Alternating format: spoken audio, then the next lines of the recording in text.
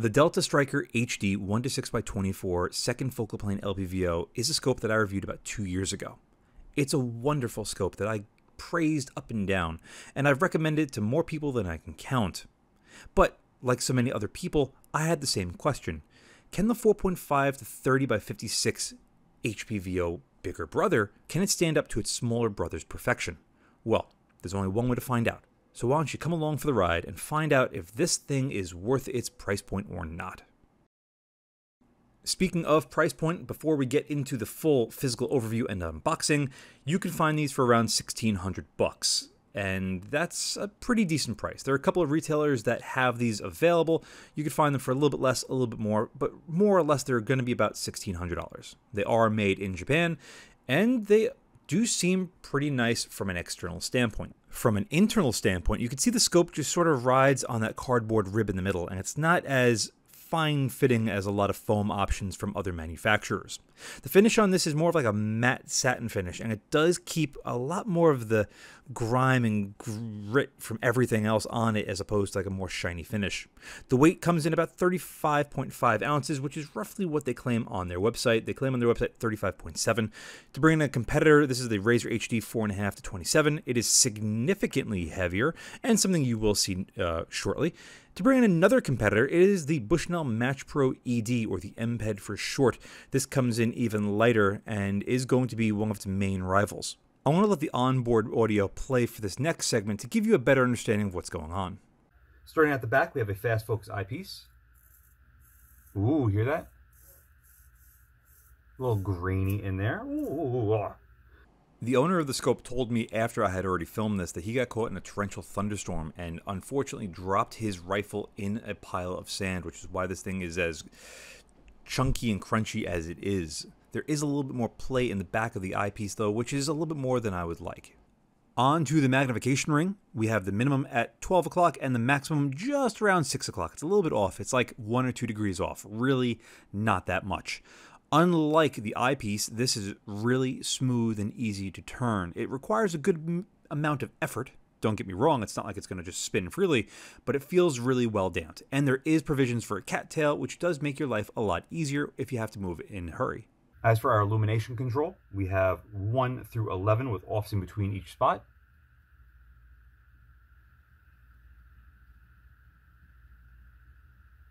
Good feel, good lockup, very little play in the detents.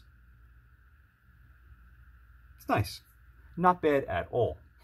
Pulling off the cap for the illumination is a little tricky because the cap and the body of the knob itself are very similarly sized and there isn't a lot of space over here to really grab it with your other finger. A standard CR2032 battery is found inside, and we have a standard six prong battery compartment. There is a nice O-ring on the back shoulder on the cap, and it seems to lock up pretty well.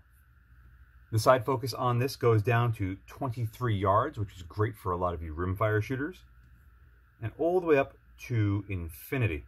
It actually goes just shy of 360 degrees, which is really nice to see. This is really well damped, requires a good amount of force to turn.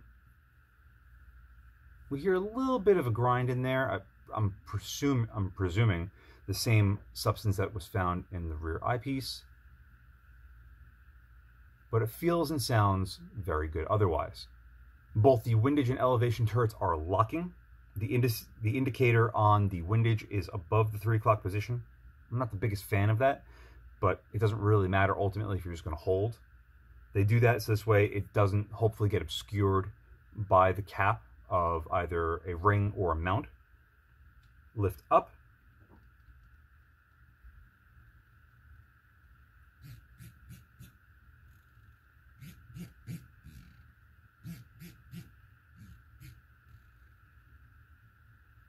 good solid feel and sound, positive click, and a little bit of play in the detent, but ultimately definitely in the realm of acceptable. No problem locking it whatsoever. One thing I don't like is that when you unlock the cap, there is a gap between the cap and the body itself, and there's no line to help you line up exactly where you are. I'm a big fan of having consistency, so you know if there was a line in between here that if you want, okay, you can easily see where the line jettisons across. It's just a little added expense, which they felt the need not to do.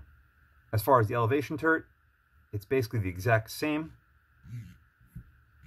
except you get this really cool big nub in the middle, which acts as your rotation indicator. So we're at zero, gonna go up. That's one, one full rotation. You can see it coming up right there. Two full rotations, so 20 mils. Let's keep going.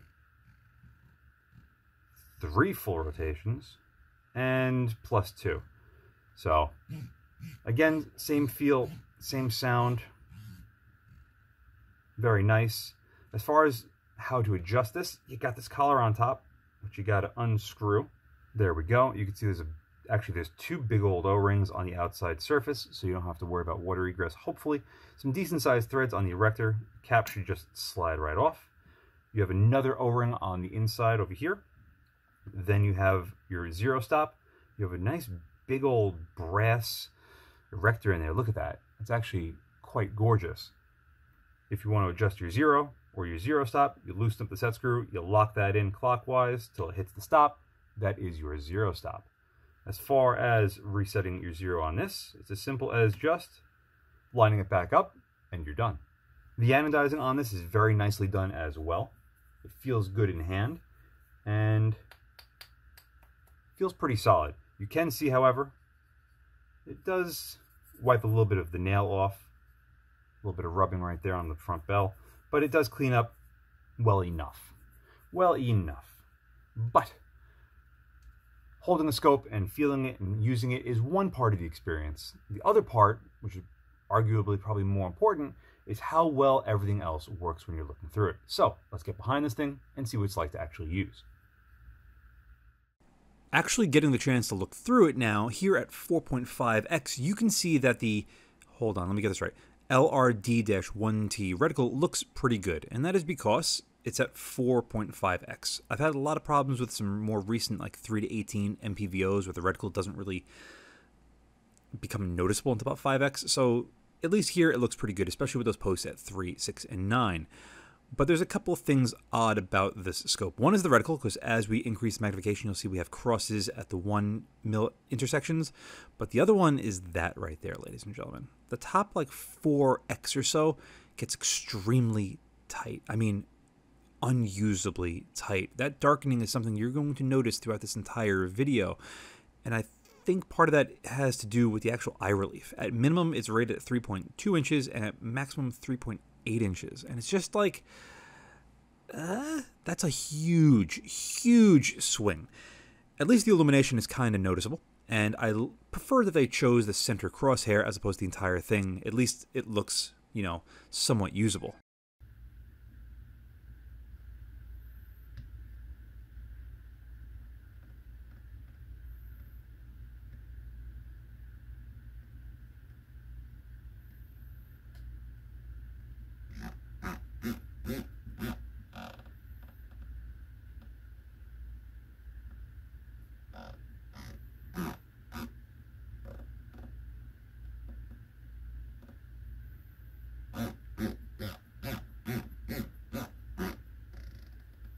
The turrets are very good.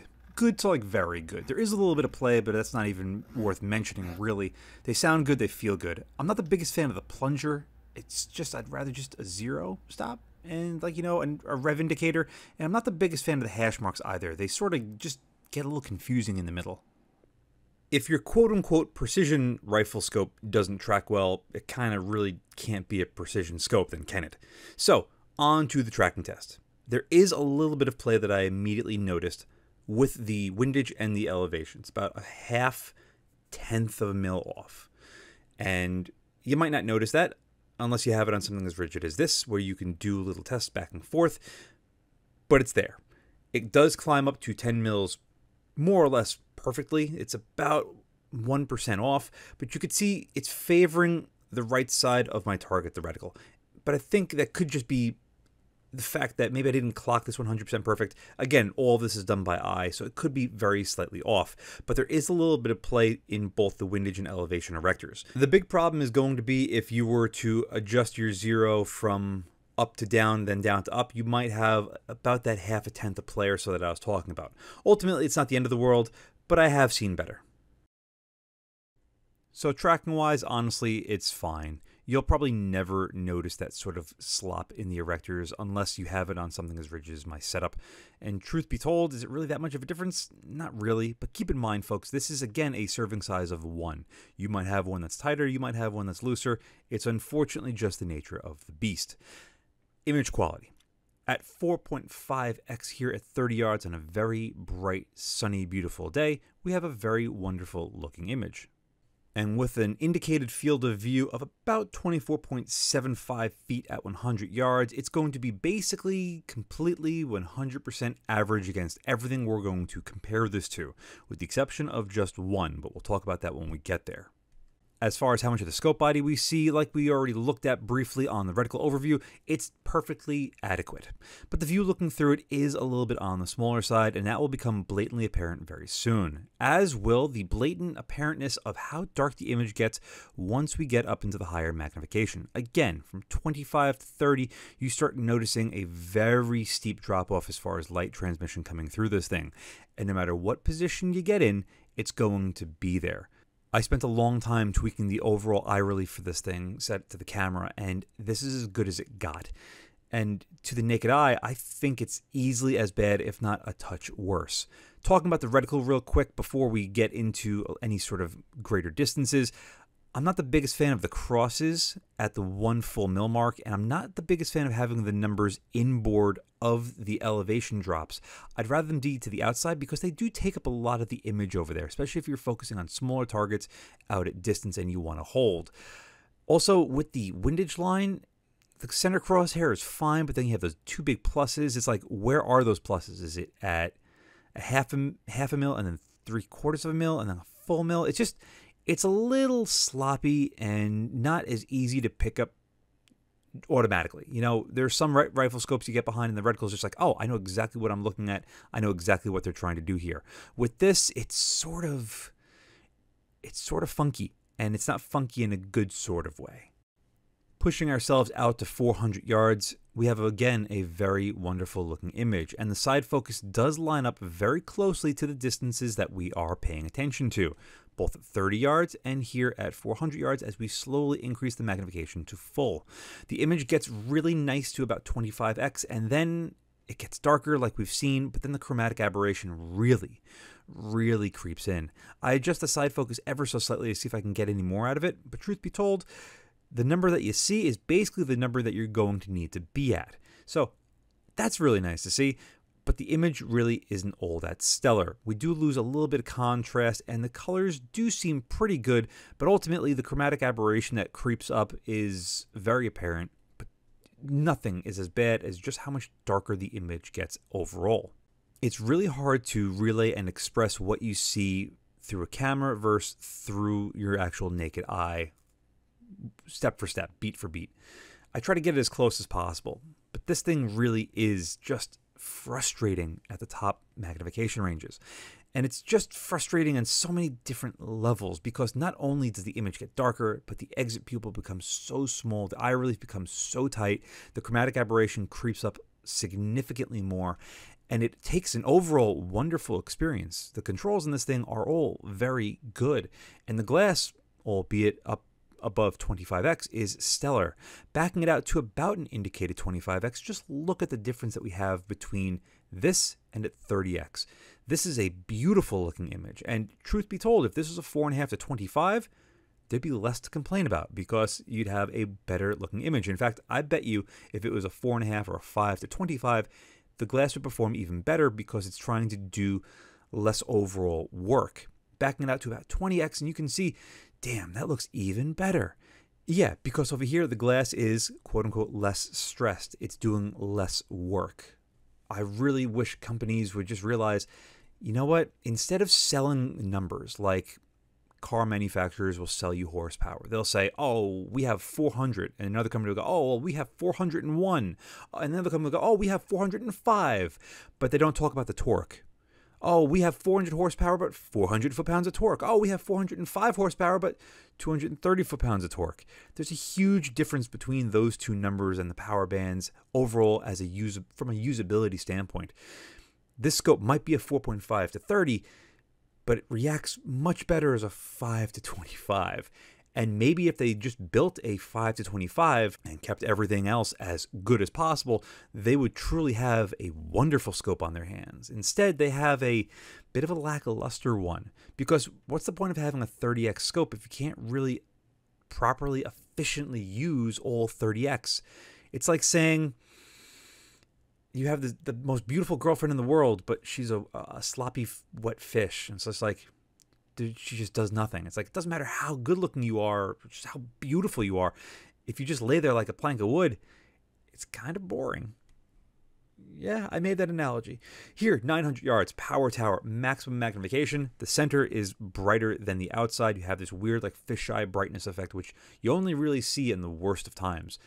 And this scope is performing that at the worst of times bring it back out to 25x real quick before we bring it up to 30 and we start shifting the eye box, well, you'll see that eye box is really tight and it is instantaneous going from picture perfect in the middle, which still isn't perfect, to adjusting it. I'm talking about thousandths of an inch either direction, and you will notice the shadows creeping in significantly, significantly worse. Bringing it to 20x is a much better performance and on par with what we've seen with a lot of 5 to 25s. Again, no surprise there. I wish I wish companies would just be like, you know what? We're going to do what Nightforce does, and we're going to make an ATACR style scope that's a 4 to 16, and it's going to be perfect from minimum to maximum and everywhere else. But they don't, because again, oh, I got more magnification everybody else. It's going to be, uh, everyone's going to buy my scope. This is not the better way of producing such a scope, because 25x is basically as good as the eye box and exit pupil get we start going down in magnification, but it doesn't really get significantly better from 25x. Typically, you'd start off at the highest magnification, work your way down, or at least here, that's what I do, and it'll go from tight and then it'll slowly start to open up, open up, open up, open up, open up, and you'll see a progression.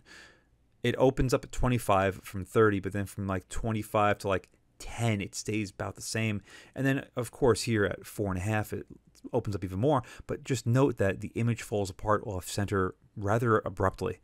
And that's either if you're on a very rigid setup like that, or if you're here doing a very dynamic approach to the exact same sort of problem. At the 4.5x minimum, you can see we can get it to the point where we could really see almost none of the scope body, but the image looking through it really starts to warp. You get a lot of fisheyeing effect going on, and the image does fall apart rather quickly. So it doesn't matter how much of the scope body you see versus what you're looking through it, again, if the image doesn't really look all that great. Bumping it up to about 10x here, you can see that it actually performs a little bit better than it does at 4.5x. Keep in mind the illumination is on full, and again, I like the fact that they chose to illuminate just the center crosshair as opposed to the entire drop reticle, because at least for me, it draws my eye more to the center, even though it's all, really not all that bright. But you're going to be using it in moments like this where it's twilight, and you want that little bit extra sort of attention to draw your eye where you need to.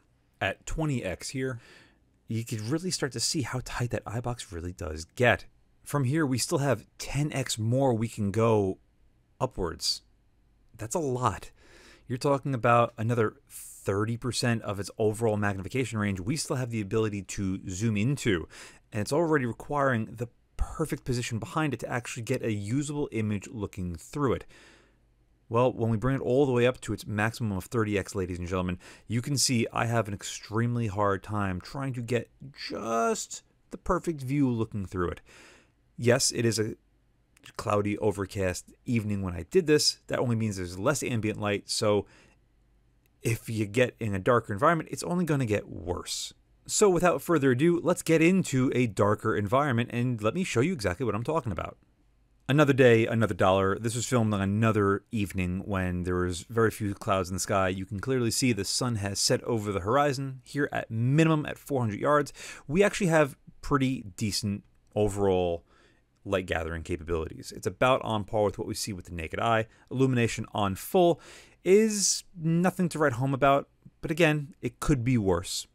At about 20x here is going to be as high as we can go in the magnification range and still have the most amount of light coming in. At maximum here, you could really see just how dark this image gets. And if you didn't pay attention, let me back it back out to you to about 20, where it will get as good as it can get in the higher magnification ranges. It's a big difference. And that's as good as you're going to get. Any more than that, you're going to have to buy another scope. Odds are you're buying a 4.5 to 30x scope to shoot at farther distances, right?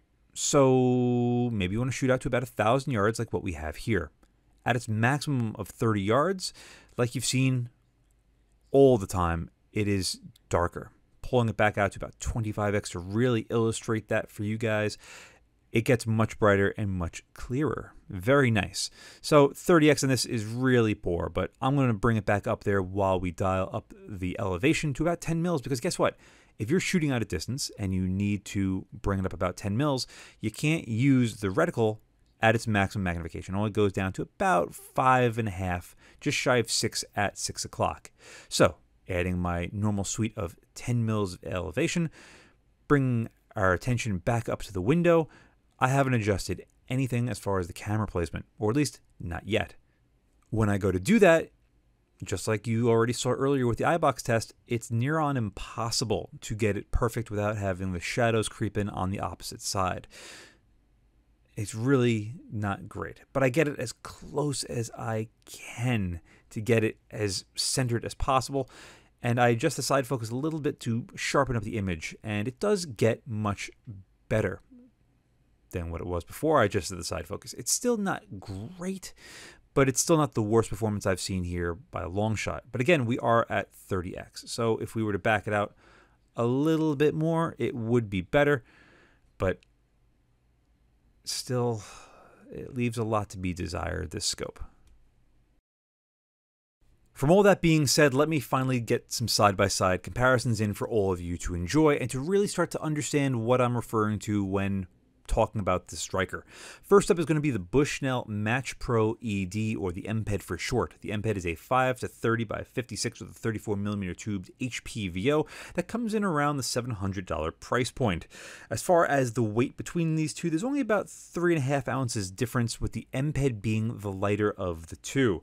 As far as our overall field of views, they are basically on par with one another at their minimums, but at the maximum, the MPED has 4.1 feet versus the Delta's 3.72 feet. And here at 30 yards, you can see there's already a sizable difference, primarily in the amount of shadows we see on the outside edge of the images. The Stryker, well, I've beaten that to within an inch of its life, so we'll talk about the MPED. There's almost none. It really requires you to be in a slightly off position on the MPED to really notice any sort of optical problems with it. Yeah, it's only a Chinese made optic. Yeah, it's only about 700 bucks, but yeah, it performs extremely well. And the farther out a distance we go, the more noticeable that will be. Despite there being about a half x difference between these two and the field of views being rated roughly the same, when we're focusing on the exact same distance and the exact same target, basically on the exact same day, you will see that there really isn't that much of a difference primarily because of the view looking through the MPED is so much larger. And as a result, it just makes the overall experience that much better. But once we increase both of these to their maximum of 30x at 400 yards and slightly tweak the side focuses to get everything perfect, you can say what you want. They are a little bit similar, but the MPED still costs less than half the price of the Stryker but the MPED still does have a brighter looking image, a little bit better contrast to my eye, and less chromatic aberration. It's not without some chromatic aberration, but it is much less noticeable. The colors also seem to pop a little bit more with the MPED, which is something that I'm a big fan of. The Stryker just seems to be a little bit more on the muted side. Another thing to take into consideration is that these were not filmed on the same day. It just looks like they were because the weather on both of these were very, very similar, almost identical. But the sun could be in a slightly different position in the sky, the humidity could be a little bit different, the air density could be a little bit different, and thus it could play havoc on one scope versus the other. But for all intensive purposes, it's as close as I could really get without filming them literally at the exact same time. The MPED just looks a little bit better to my eye, and the view looking through it is much, much larger, and that for me is something that I truly enjoy, especially when the overall resolution of the glass is at least on par with another scope that we're looking at with a smaller view looking through it. Because there's two ways of really doing things. It's you can have a larger view looking through it, like what the MPED has, but typically the resolution of the glass isn't going to be as high as a smaller view looking through a scope that might have more resolution. It's like taking a, a, JPEG off the internet somewhere and you want to blow it up to a poster. You're going to see some pixelation. It's the exact same concept as opposed to taking a larger JPEG and then scaling it down where it's going to be a lot sharper, a lot clearer. It's not going to fall apart. In fact, if anything, it's going to just increase its overall resolution and thus have more information in a smaller area. So that's typically what happens between two scopes when you have a smaller view looking through one versus a larger view looking through the other. But every once in a while, you can manage to get a large view looking through a scope that also has a really good image in high resolution because they're using good glass and they're using good techniques to make that scope. And the MPED is one such example that for a very low budget, you can get away with getting a lot. Whew, that was a mouthful. Now, I will be honest, if you're looking really closely at the trees in the background, the Stryker might have a little bit more resolution on some of the finer details back there. And like piggybacking off of what I just said, it makes sense because of how much smaller the view looking through the Stryker is as opposed to the MPED. But again, for the price, the MPED being less than half the price that is, and with a much larger view looking through it, I'm okay with that because I could see so much more going on they both have the exact same field of view, but with the MPED, we're going to be slightly more zoomed in, even though technically the magnification ranges are exactly the same. As far as the exit pupil size, the MPED is a little bit more forgiving, but the Stryker does have one ace up its sleeve, which is in, in, the higher magnifications. Both the image and the reticle seem to be pretty sharp until you get in deep into the shadows, whereas the MPED might not be as forgiving in that regard, but the exit pupil does seem larger with the MPED primarily because when we're at the maximum magnification, the image doesn't get anywhere near as dark and you're able to get behind it a little bit easier. If you haven't watched my MPED review, go watch that because that really is a budget masterpiece. It's time to bring up a scope that you guys haven't seen yet.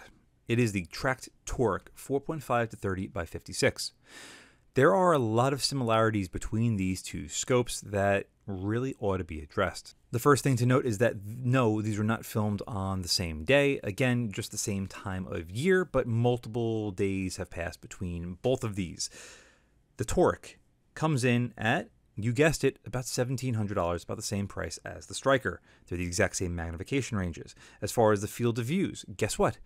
They're both identical. They're both made in Japan. And their eye reliefs are about the same. That's one thing I didn't talk about with the Stryker in full depth, so I'll talk about it now. The eye relief on the Delta is 3.2 to 3.8. That's a large swing.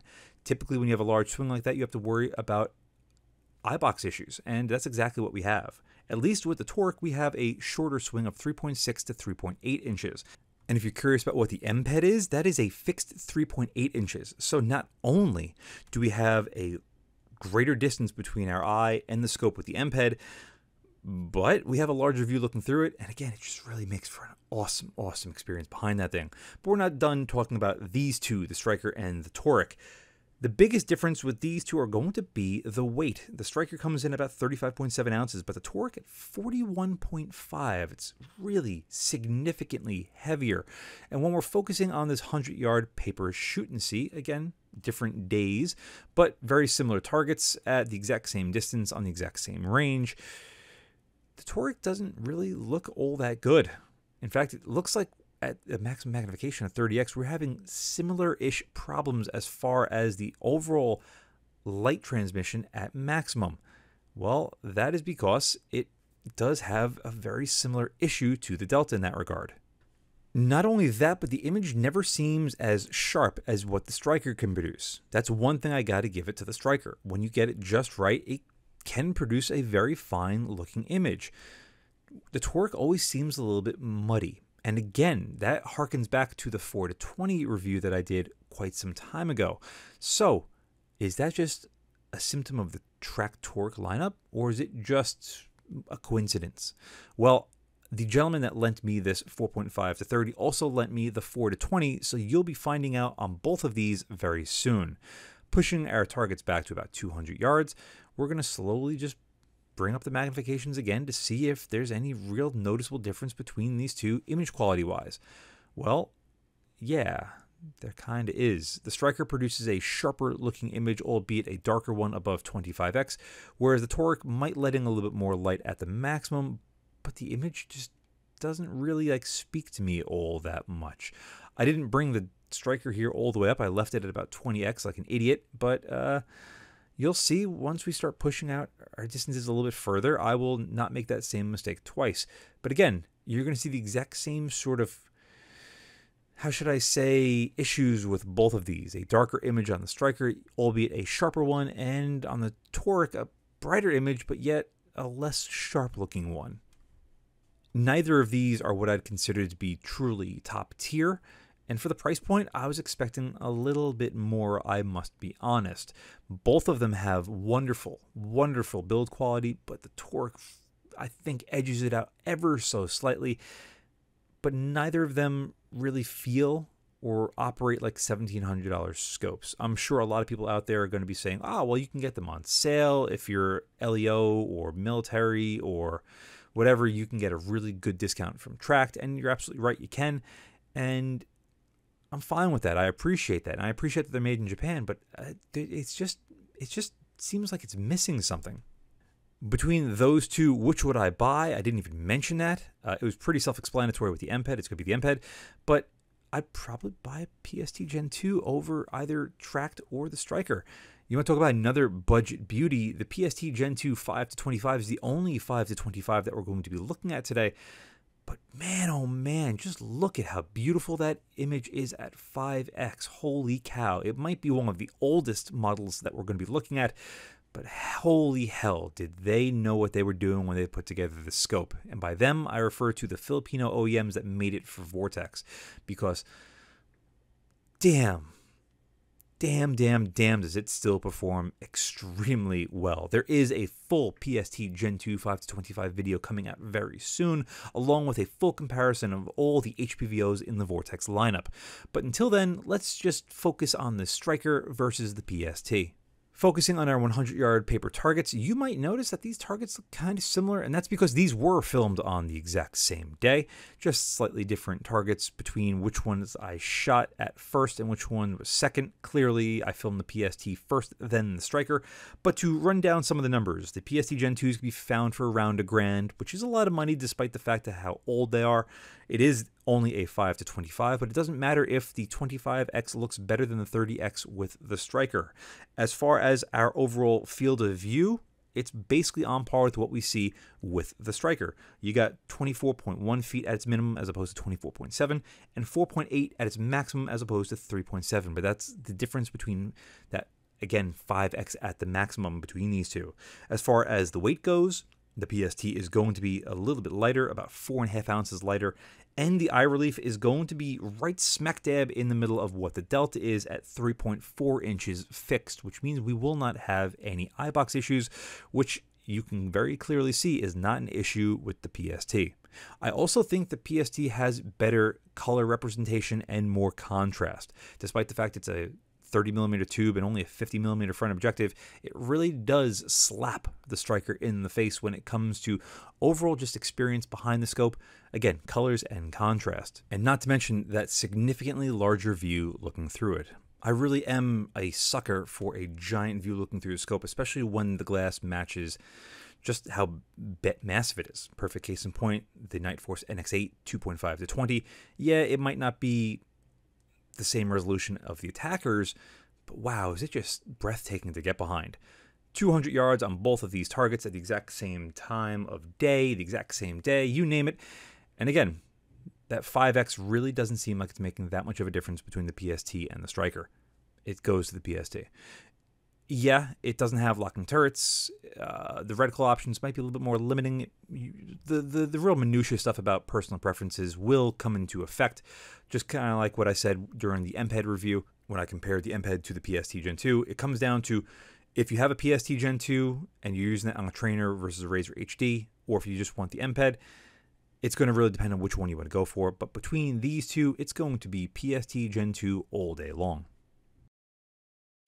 And because I mentioned it, I might as well roll in some footage, even though this is very old, antiquated, and overblown footage. It is too bright. I didn't adjust my exposure settings properly on my camera when I filmed with the Razor HD Gen 2. So just take it for what it's worth. Uh, I'm going to have to redo the Razor HD Gen 2 4.5 to 27 by 56 because I really do think it is the best HPVO for the price. Not for the weight, because the weight is enough to bludgeon someone to death in about two full powered swings. But as far as everything else, it's it's it's it's it's friggin' amazing.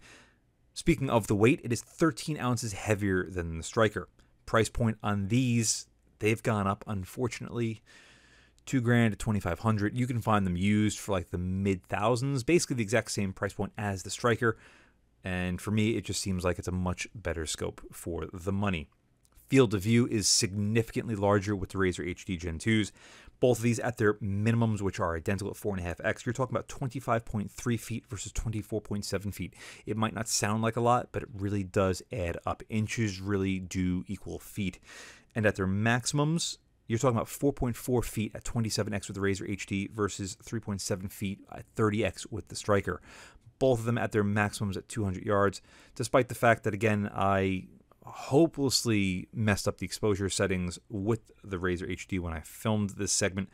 It's still just a vastly superior scope. And the Razor's eye relief is about 3.7 inches, which is good and as far away as the Delta could possibly get at about 3.8 inches. But again, it goes from 3.8 to 3.2 inches, which is really its Achilles heel as far as really messing with the overall tightness to the eye box at its maximum magnification. Between these two, there is no comparison, ladies and gentlemen. It's going to be the Razor HD Gen 2. And that is going to very abruptly bring us to my final thoughts. You might think I'm shilling for Vortex. It's not the case. Vortex just so happens to make really, really good scopes. Delta does too. The second focal plane Stryker HD 1 to 6 by 24, like I said in the beginning of this video, is a benchmark. It is a wonderful, wonderful LPVO. I was hoping that this HPVO would carry the torch of the 1 to 6, and it just doesn't. Front focal plane scopes in general are much harder to manufacture. And when you really think of it, this is technically a 4.5 to 30, so it's more than a 6x multiplier. The 1 to 6 second focal plane is a 1 to 6, but it's second focal plane. So this is more than a 6x multiplier. You might be saying, but see, there are companies that make like 7 to 35s. But if you divide those two numbers together, what do you get? You get 5x. That's not 6 plus x. So a 7 to 35 can technically perform better than this simply because the magnifier is of a lower magnitude. And thus, it's going to be easier to have it just work better. I was kind of hopeful when I got my hands on this. Typically, Japanese made scopes are of a little bit higher caliber than most, and you could really feel it in the overall physicalities of this thing. It feels really good in hand and it looks really good. It's got some really interesting features like that plunger rev indicator on the elevation. I've never seen anything like that before. And I do see it as something that's either going to allow for dirt and debris to get in or just have it get jammed up somehow. It just, I, I get it. I don't really think I need it. You know, there are better, easier ways of performing such a, a, task, such as like a little nub that pops up as opposed to this giant erector tube in the middle. But that's what Delta decided to try to do with this. I guess it's one way of trying to be different, just like they wanted the reticle to be a little bit different. It is absolutely different. Uh, at its minimum, you don't really notice the center until you get to about here at about 10x, when, yeah, you could just start to make out like where that center crosshair is and all the drops, but it's still not really all that practical or usable until about this magnification, if not a little bit more. I've been noticing that more and more recently with like MPVOs of the 3 to 18 variety that the reticle just doesn't seem to correlate properly to the magnification range. It's not just Delta's problem with this, it's just across the entire board, really. But the reticle is definitely the lesser of the two negatives with the scope. The darkening to the image at 30x is by far the worst, and the tightness or the rather smaller exit pupil is the cause of that. That is by far the worst. This again has the worst eye relief swing that I've seen in a long time. 3.8 to 3.2 inches is rather abruptly large, but where I have it is as good as it could possibly get for me to capture through it and still have it be as true to form as possible. You can see here, it's so tight at 30x. And when we adjusted the elevation at the thousand yard setup, you saw it firsthand. It's really, really, really tight. Even when you make a minor adjustment with the elevation, you got to adjust your head. Now, it happens with a lot of scopes, but typically they don't have as dark of an image at their maximums. This is just worse. It's honestly a bit of a letdown because I was hoping a little more for the scope.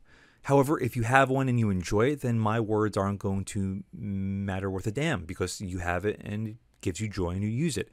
I'm pretty sure for anyone that has this and they are using it, they really don't have much to complain about, except for like the nuance stuff.